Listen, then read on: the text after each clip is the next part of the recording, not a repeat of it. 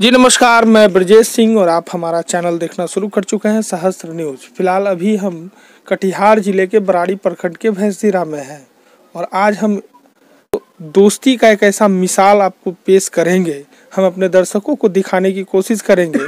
आज भी इस युग को जिसको कलयुग बोलते हैं, आज भी कुछ ऐसे लोग हैं जो दोस्ती के लिए मर मिटने के लिए तैयार हैं। कहानी बड़ा दिलचस्प है कि एक लड़का आज आठ साल पहले अपने माँ बाप को छोड़कर बाहर चला गया। बाहर जाने का मतलब है कि कुछ ऐसी परेशानी इसके साथ आ गई, जो ये घर द्वार छोड़कर चला गया और उसके जाने के बाद शायद उसके पिताजी का देहांत हो गया और जो लड़का यहाँ से गया, उसकी पत्नी भी इंतज़ार में थी, लेकिन जब वो आठ साल नहीं आए तो आपको स्वाभाविक सी बात है कि उसकी पत्नी भी नहीं रही और वो भी छोड़ के चली गई। लेकिन बची एक माँ और माँ का देख रेख आठ साल तक एक दोस्त ने भली भांति बेटे के रूप में किया। आज इन्हीं दोनों की दोस्ती की मिसाल हम अपने दर्शकों को दिखाना चाहते हैं और हमने सोचा कि ज़रूरी है ऐसे दोस्तों की कहानी दिखाना ताकि लोग जो हमारे दर्शक हैं, इन दोनों की दोस्ती से प्रेरित हों और अच्छा काम कर सकें कि आज अच्छे लोग नहीं हैं। अगर अच्छे लोग नहीं रहते तो ऐसे दोस्त नहीं मिलते। अभी इनका जो कहानी है कि वह लड़का आठ साल के बाद उसका किसी कारणवश कोई हादसे में उसका पैर खराब हो गया और जो दोस्त आठ साल से उसकी माँ का सेवा सेवा सत्कार कर रहा था, वह दोस्त उसको वहाँ से उसको लाया और हम अब, हमको लगा कि यह कहानी बड़ा दिलचस्प है और हम अपने दर्शकों को दिखाएँ। लाइटिंग की जरा प्रॉब्लम है। इसके लिए हम क्षमा चाहते हैं अपने दर्शकों से। लेकिन क्या करें? इन दोनों का जो लड़का है, जिनका नाम भोला जी है, यह भोला जी का समय का अभाव है, इसीलिए हम रात्रि को ही शूटिंग कर रहे हैं। और हमें लगा कि ये कहानी हम अपने दर्शकों को दिखाएँ, सम, समझाएँ, ताकि हमारे दर्शक भी इन दोनों की दोस्ती से कुछ प्रेरणा ले सकें। चलिए जानते हैं। क्या नाम हुआ आपका? राजीव राज सागर तो आ, आपके जो दोस्त हैं वो क्या नाम है उनका? उनका नाम भोला जी है। तो ये भोला जी से कैसे दोस्ती हुआ था? हम बचपन के दोस्त हैं। हम हमारा घर पहले कारावला घाट था।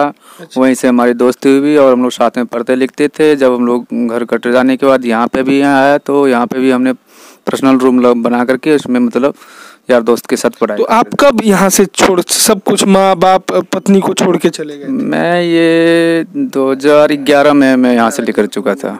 क्यों? वैसे ही आवेश में चला गया पिताजी खत्म हो गए भाई खत्म हो गया और कुछ वैसी टेंशन होगी जिसकी वजह से हम चले गए। अच्छा। अगर हम यहाँ होते तो क्या पता मैं मर भी सकता था। अच्छा ये दोस्त आपके लिए क्या क्या किए? दोस्त हमारे लिए काफ़ी कुछ किया इसने और मैं दोस्त का हर बार शुरू से ही इनका बात मानता रहता हूँ। इनके कहने से। मैं इनका हर हर एक बात मानता हूँ ये भी हमारे शुरू से मानते हैं जैसा हम कहते थे इनसे अच्छा आप जब लाचार हुए तो वहाँ के जो आपके लोग थे उनका कहना था कि ले जाओ नहीं तो हम इनको फेंक देंगे। न ऐसे वो नशे की दुनिया में कह रहे थे लेकिन वे लोग भी हमारा काफ़ी मतलब जो है कि इज़्ज़त के वो मतलब सुबह शाम मेरा देखभाल करते अपने घर ले जाके सुलाते थे। उस टाइम भी मेरा माइंडलिटी तो यही दोस्त ना आपके पास गया हाँ? ये जब दोस्त आए उन्होंने मैंने मतलब फ़ोन नंबर उनको दिया उसने फ़ोन करा फिर ये मेरा दोस्त आया फिर मैंने कही कि मैं आज नहीं कल जाऊँगा इसने अच्छा ये आपकी माँ का इतना दिन ख्याल रखे? क्या कोई भाई भी इतना करता है क्या? नहीं ऐसा तो नहीं करता कोई भी। जितना ये आपके लिए किए। हाँ नहीं ये तो हमारे फ्रेंड है तो इसको तो एक फ्रेंड के नाते करना भी चाहिए और हम सारे दोस्तों से ये चाहेंगे। बहुत सारे दोस्त हैं जो आज तक कभी ऐसा नहीं किए। नहीं कोई ऐसा दोस्त आपके ये दोस्त ऐसे हैं हाँ ये आपका आठ साल तक आपके घर का हाँ नहीं इन, इन पे हमारा भरोसा भी है और ये हम पे भरोसा भी करते हैं। मतलब हम जो इनसे जो कुछ कह देंगे ये भी करते हैं और हम भी करते हैं। इन्हीं के कहने से हम आए। अगर अन्यथा अगर मेरी माँ भी गई थी कुछ दिन पहले जब मैं दिल्ली में था तो उनकी बात नहीं रखा था। मैं घर नहीं आया था। लेकिन इसके कहने से हम आ गए क्योंकि मैं इनको दोस्त मानता जय वीरू वाला दोस्ती है क्या? जय वीरू वाला ही लगा लो आप। अच्छा। चलिए इनके दोस्त से भी बात करते हैं जिसके चलते आज ये जीवित है। और क्या नाम हुआ? हम काट लेंगे। मेरा नाम भोला राम है। तो आप दोनों का दोस्ती कितने साल से है? मोटा मोटी बचपन से ही। तो क्या जब ये यहाँ से चले गए तो ये बताइए इनकी माँ का परवरिश आप ही किए क्या सही है? हाँ सही है। क्यों किए थे? मतलब इसको हम भाई की तरह समझे बचपन से ही और ये हमारा मतलब बेस्ट फ्रेंड है। और इसको हम कभी छोड़ना भी नहीं चाहे बेशक ये बीच में नहीं भी था।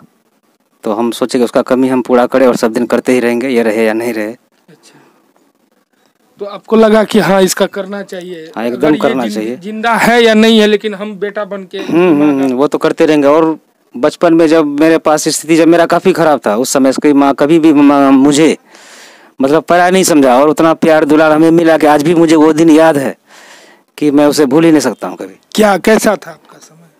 मतलब कुछ नहीं था मेरे पास काफ़ी स्थिति मेरा गड़बड़ था उस समय। हम्म, जिस समय हम इसके आते थे रहते थे खाते थे उस समय इसका बहन माँ बाप भाई मुझे सभी मतलब काफ़ी प्यार करते थे। तो मुझे उस दिन को जो मैं अभी तक नहीं भूला हूँ और कभी भूलूँगा भी नहीं। अच्छा तो इसका जो आप आप इनकी माँ ने आपके साथ किया तो इसका आपने ये चुकाया कर्ज चुकाया? हाँ। यही कहा जाए? नहीं कर्ज क्या मतलब मेरा फ़र्ज़ भी है कि अगर दोस्ती की याद भाई निभाना तो पड़ेगा। निभाना।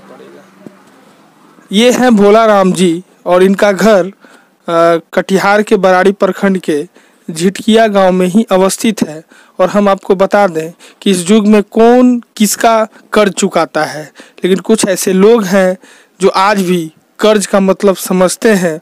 जैसा इन्होंने कहा, भली भांति आपको भी याद होगा कि इन, इनका जब समय खराब था तो इनके परिवार के द्वारा ही इनका लालन पालन किया गया। और जब यह दोस्त घर छोड़कर चले गए तो इन इस घर की सारी ज़िम्मेदारी भोला जी ने उठाया।